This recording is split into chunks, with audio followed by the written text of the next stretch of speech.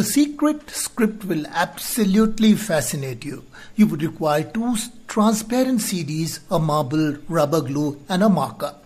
Take a transparent CD and write alphabets from A to Z in a very random manner. You can have more A's and Z's and P's and Q's. Randomly, in all directions, fill the CD with alphabets. This is the back side. Now, on the rim of the inner hole, apply some rubber glue and place a marble. Wait for a while for the rubber glue to dry up.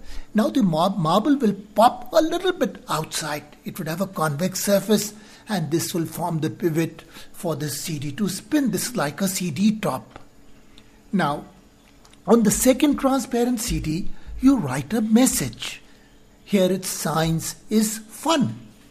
Now place the alphabet CD in the center hole of the message CD and spin the marble. The message will now emerge. You can see science is fun. The message very clearly once the top CD is spinning. When the top CD stops, the message gets camouflaged. It'll be difficult to read the message written below. Try it with another message. This time we're going to write toys from trash. This is the back view. Once again, keep it on the floor. Place the marble in the middle of the base CD with the message. And now you can't see the message.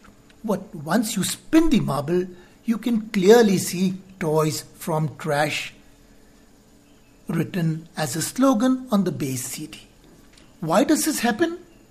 Well, it's difficult to say, but maybe it's because of persistence of vision. And when the spinning CD slows down and stops, the base message is difficult to decipher. This is Arvind Godbole, the inventor of the marble CD spinner.